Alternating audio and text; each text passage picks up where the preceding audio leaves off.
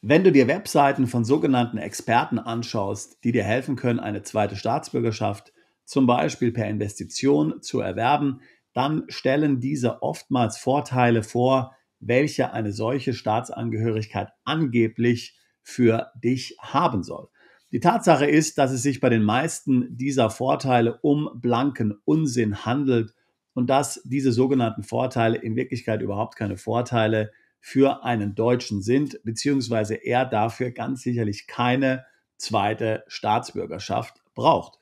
Ich werde dir in diesem Video zehn der häufig verbreitetsten Mythen und Lügen zur zweiten Staatsbürgerschaft präsentieren. Vorteile, die eigentlich keine Vorteile sind und die du überhaupt nicht brauchst, wenn du die deutsche Staatsbürgerschaft hast. Noch ein kurzer Hinweis in eigener Sache. Ich weiß ja, dass viele von euch planen, zum Jahreswechsel auszuwandern. Deswegen haben wir in der zweiten Jahreshälfte 2024 noch einige interessante Seminare und Workshops für Auswanderer geplant. Bei allen unseren Seminaren geht es um Themen wie rechtssichere Steueroptimierung im Ausland, Vermögensschutz außerhalb der EU und natürlich auch zweite Staatsbürgerschaften. Neben einem intensiven Kurs- und Seminarprogramm gibt es immer viel Raum für Networking bei unseren Events. Networking mit mir, mit Daniel und natürlich den anderen Teilnehmern.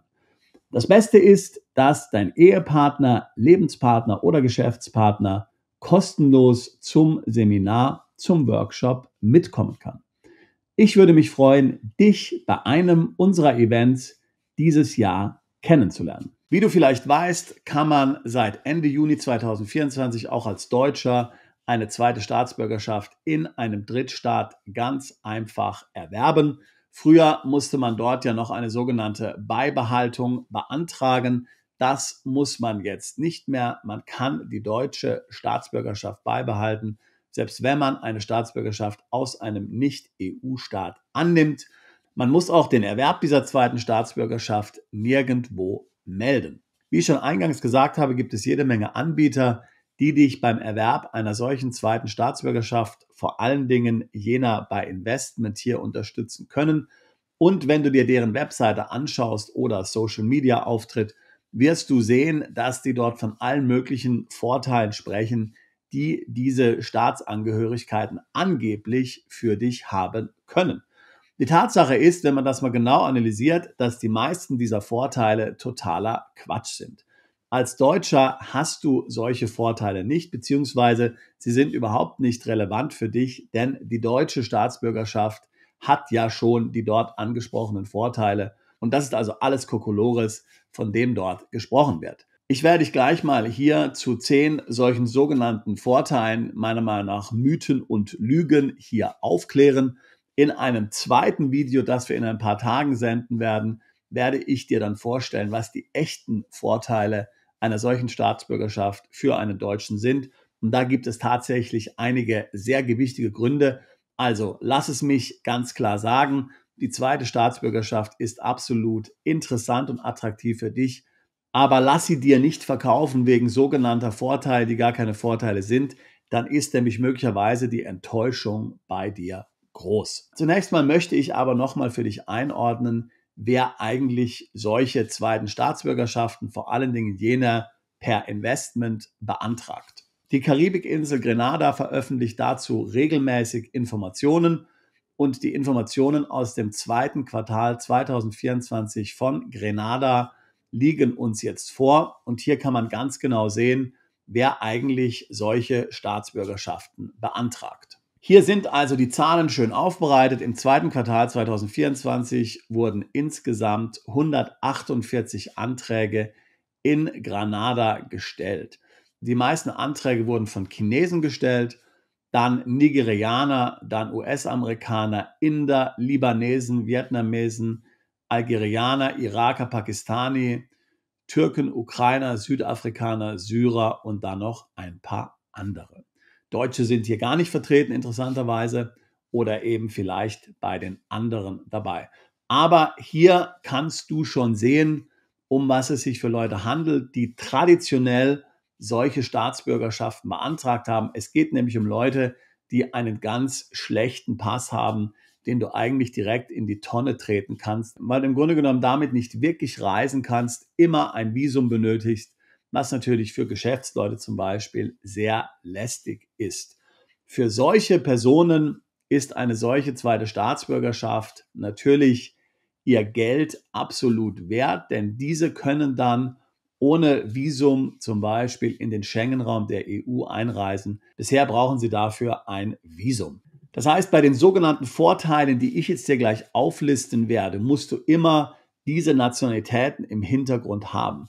Das heißt, für diese Nationalitäten, für unseren armen Libanesen oder für unseren armen Syrer, hat vielleicht die zweite Staatsbürgerschaft tatsächlich die hier genannten Vorteile, aber natürlich für einen Deutschen absolut nicht. Das heißt, ein Deutscher beantragt eine solche Staatsbürgerschaft nicht aus den gleichen Gründen wie ein Syrer. Er hat komplett andere Gründe und hat daher komplett andere Vorteile, die sich aus der Staatsbürgerschaft hier für ihn ergeben.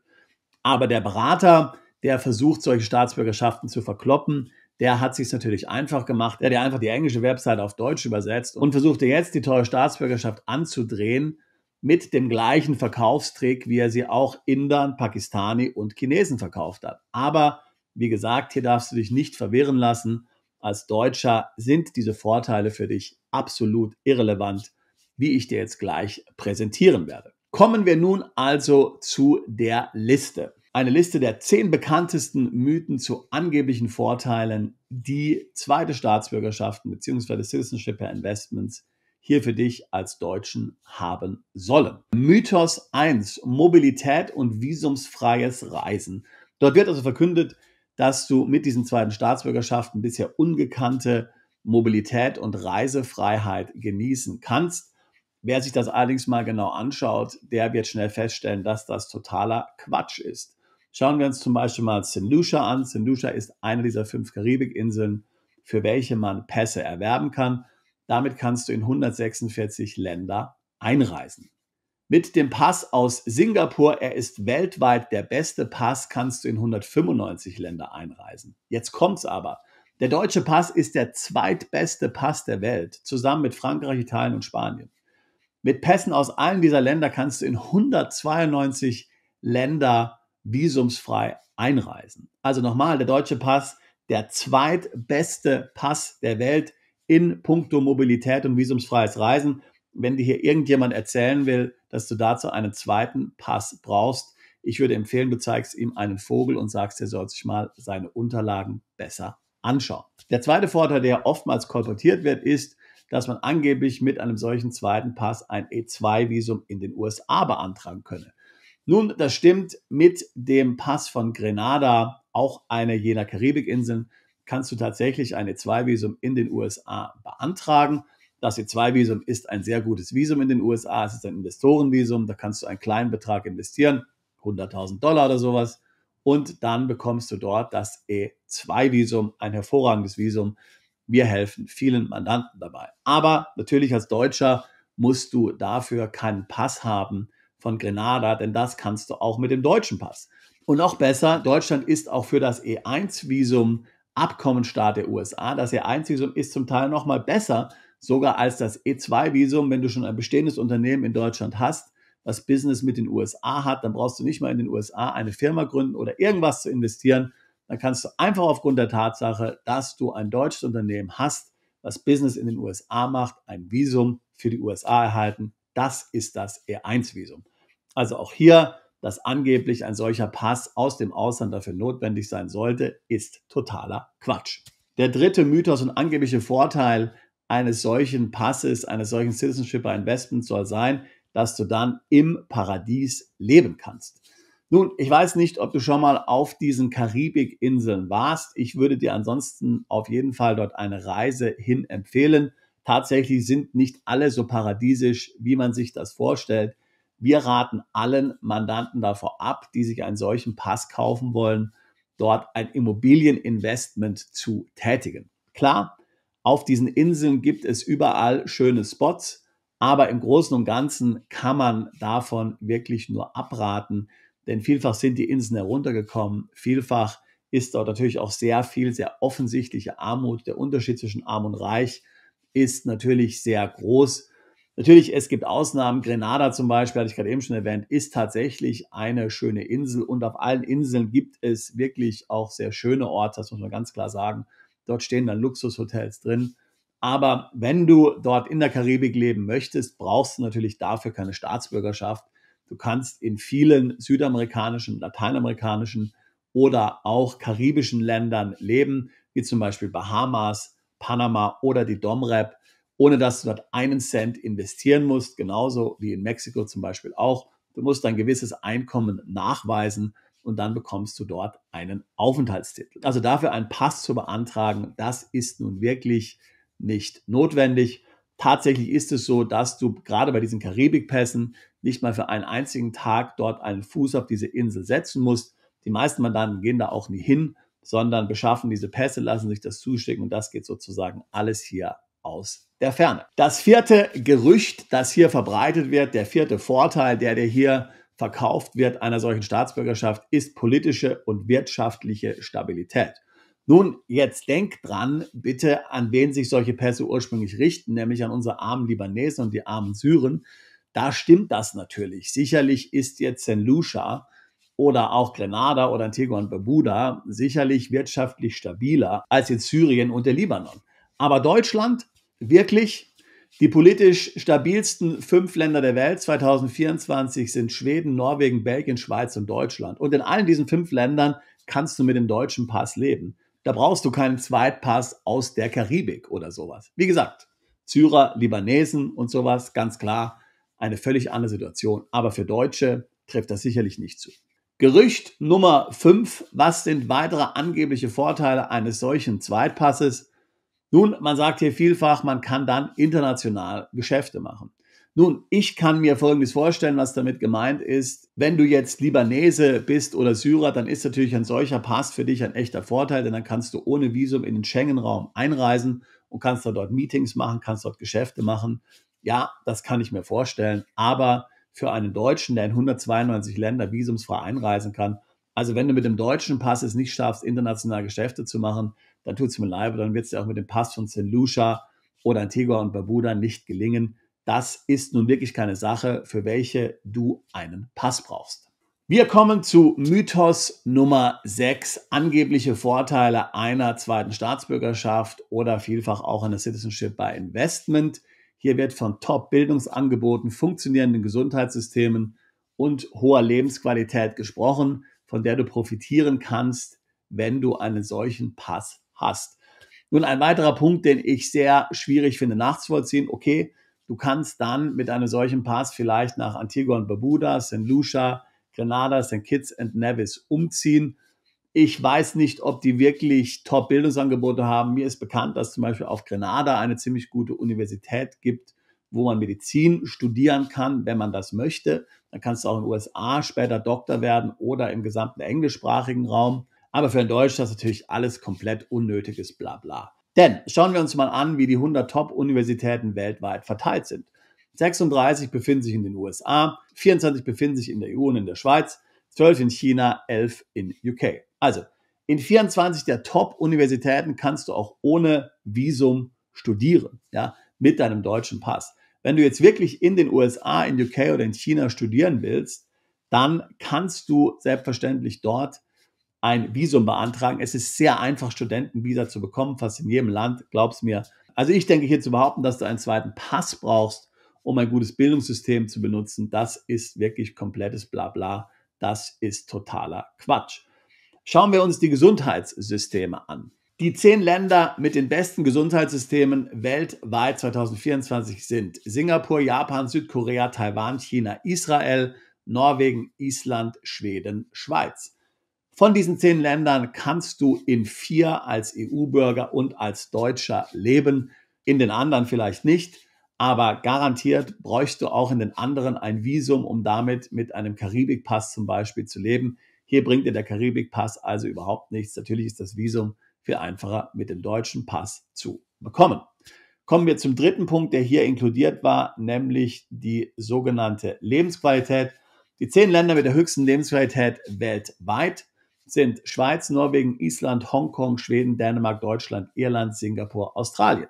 Das heißt, mit dem deutschen Pass kannst du in sieben der Länder leben, die weltweit die höchste Lebensqualität haben.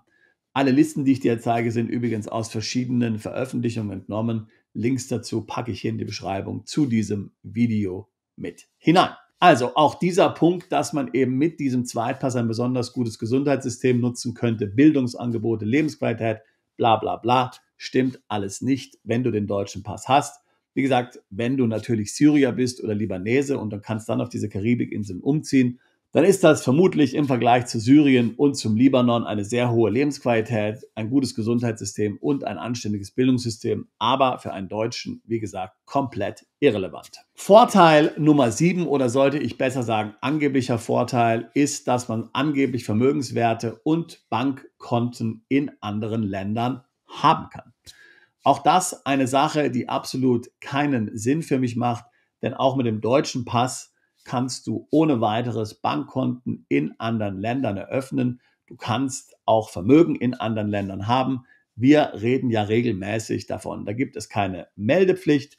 Du kannst Konten überall eröffnen. Es ist komplett legal. Du musst es nicht dem Finanzamt melden. Es ist auch egal, wenn dort kein Informationsaustausch stattfindet. Solange du die Einkünfte, die auf dieses Konto fließen, in deiner Steuererklärung angibst, kannst du weltweit Konten haben, wo du willst. Es ist tatsächlich auch so, dass deutsche Kunden, also Kunden, die einen deutschen Pass haben und in Deutschland wohnen, sehr beliebt sind bei Banken. Das heißt, es wird keinen Pass geben, mit dem du mehr Konten weltweit eröffnen kannst, als mit einem deutschen Pass, wenn du in Deutschland wohnst. In der Tat ist es sehr schwierig oftmals für Mandanten, die gerade in exotische Länder umziehen, dann ihre Konten in der EU, in der Schweiz oder in Liechtenstein beizubehalten, weil vielfach sind die Banken hier extrem restriktiv. Das hat aber natürlich mit der Staatsangehörigkeit nichts zu tun, außer vielleicht bei Personen, die aus Russland kommen oder Nordkorea. Da wird man auch hier an der Staatsangehörigkeit vielleicht so einiges festmachen, wie Sanktionen zum Beispiel. Aber grundsätzlich geht es hierbei nur darum, wo du wohnst. Also vielfach ist die Staatsbürgerschaft und der Pass komplett irrelevant. Wir kommen zu Vorteil Nummer 8, welche du angeblich in dem zweiten Pass hast. Da wird dann von vorteilhaften steuerlichen Regelungen gesprochen. Auch hier ist mir absolut nicht klar, was damit gemeint sein soll. Sicherlich, du kannst, wenn du diesen Pass hast, dann in einem steuerfreien Land leben. Manche dieser Länder, wo du einen solchen Pass bekommst, sind ja steuerfrei. Das geht, aber ich meine, als Deutscher kannst du ja in zig steuerfreien Ländern leben. Alleine schon hier in Europa, ohne dass du hier einen solchen Pass brauchst. Und in anderen Ländern ist es sehr einfach, vielfach einen Aufenthaltstitel zu bekommen, auch ohne Investition, ohne dass du da eine Immobilie kaufst oder sonst irgendwas. Ich hatte ja vorhin schon gesagt, Panama, Dominikanische Republik und solche Länder, in denen letztlich Einkünfte steuerfrei sind, da musst du de facto gar nichts bezahlen. Einfach nachzuweisen, dass du gewisse monatliche Einkünfte hast, reicht komplett aus. Auch zum Beispiel die erweitert beschränkte Steuerpflicht in Deutschland, unter die fällst du trotzdem, selbst wenn du eine zweite Staatsbürgerschaft hast. Nur wenn du die deutsche Staatsbürgerschaft aufgeben würdest, Jahre bevor du wegziehst, dann kannst du der entkommen. Also auch hier sehe ich keinerlei steuerliche Vorteile. Kommen wir zu Punkt 9, Mythos 9 oder Lüge 9 zu den angeblichen Vorteilen zweiter Staatsbürgerschaften, internationale Diversifizierung von Vermögen auch hier absolut nicht klar, warum hier ein ausländischer Pass einer solchen Karibikinsel oder sowas notwendig wäre. Das kannst du ohne beides auch mit einem deutschen Pass machen. Die öffnen sich mit einem deutschen Pass Tor und Türen. Die Deutschen sind sehr respektiert. Deutschland ist sehr respektiert im Ausland. Du wirst hier keinerlei Probleme haben, irgendwo Vermögen zu erwerben im Ausland. Garantiert wird das einfacher sein als mit einem solchen Karibikpass zum Beispiel.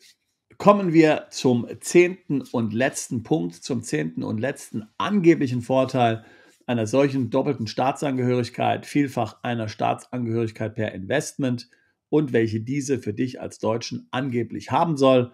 Hierbei geht es um das Image des Landes. Das heißt also, wenn dein Land ein schlechtes Image hat, wie zum Beispiel Russland, dann kann das auch für den Inhaber eines solchen Passes Nachteile haben. Und daher im Umkehrschluss, wenn du einen Pass eines Landes hast, welches ein gutes Image hat, dann hast du hier in der Welt nichts zu befürchten. Jeder will mit dir Business machen, jeder will dir ein Konto geben und so weiter und so fort. Es mag natürlich sein, dass bei Ländern wie Russland oder auch Syrien sich das schlechte Image des Landes dann hier auf den Bürger abfärbt und er damit dann Nachteile hat. Als Deutscher ist sowas natürlich absolut nicht zu befürchten, denn Deutschland hat international ein sehr gutes Ansehen. Hier habe ich zum Beispiel mal drei Statistiken aufbereitet. Hier der sogenannte Good Country Index von 2023. Hier Deutschland an dritter Stelle nach Schweden oder Dänemark. Hier die nächste Statistik von Ipsos, der Nation Brands Index von 2023.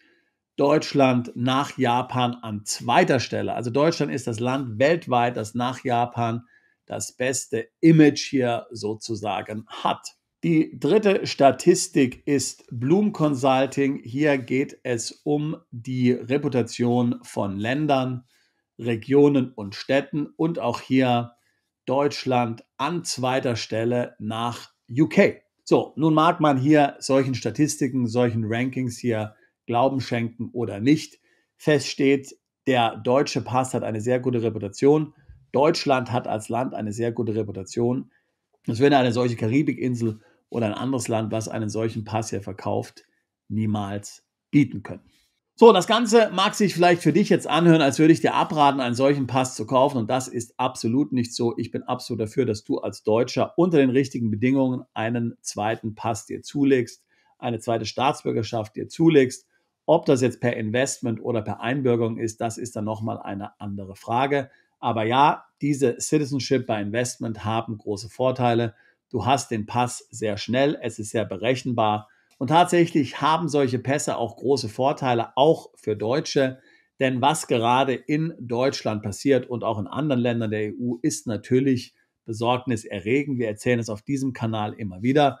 Das heißt, es gibt tatsächlich handfeste, wichtige, langfristige Vorteile, die ein solcher Pass für dich haben kann. Es sind aber keine Vorteile, in deren Genuss du sofort kommst, sobald du diese Staatsbürgerschaft hast, wie es vielleicht bei Syrern oder Libanesen der Fall ist, die eine solche Staatsbürgerschaft erwerben.